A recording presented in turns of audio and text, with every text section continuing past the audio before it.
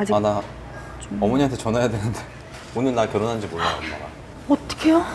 그러니까 지금 근데 아마 기사 때문에 지금 아마 아실 건데 어떻게 전화 드려요 어, 지금? 전화를 한번 해, 네. 해볼게요.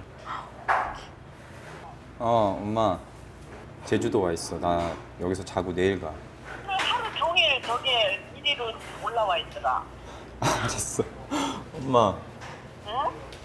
여기 내 와이프 앞에 앉아 있거든. 어, 어, 어 인사 인사해. 우리 며느리 인사해. 네, 안녕하세요. 여보세요, 안녕하세요. 네 안녕하세요. 네 안녕하세요. 우리 아들 잘 부탁해요.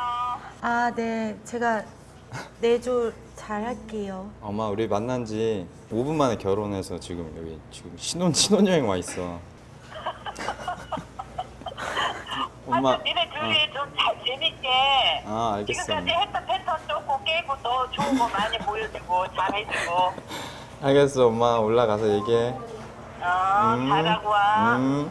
안녕히 계세요. 이거 이거. 인터넷 검색어 1위 됐다고. 되게 좋아하시죠? 어 좋아하시는 것 같아요.